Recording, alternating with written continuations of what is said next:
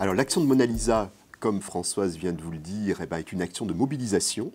En fait, des grands réseaux nationaux, qu'ils soient associatifs, institutionnels,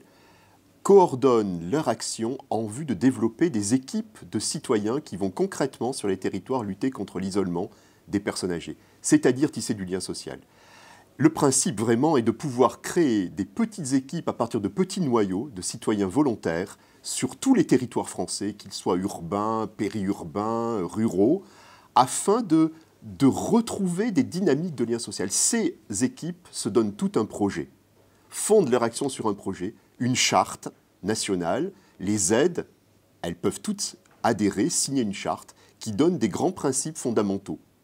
que sont en fait la mobilisation collective, le lien, le désintéressement bien sûr, et la pérennité de l'action, un lien qui va durer et qui va pouvoir permettre aux personnes de retrouver toute leur place dans les collectivités là où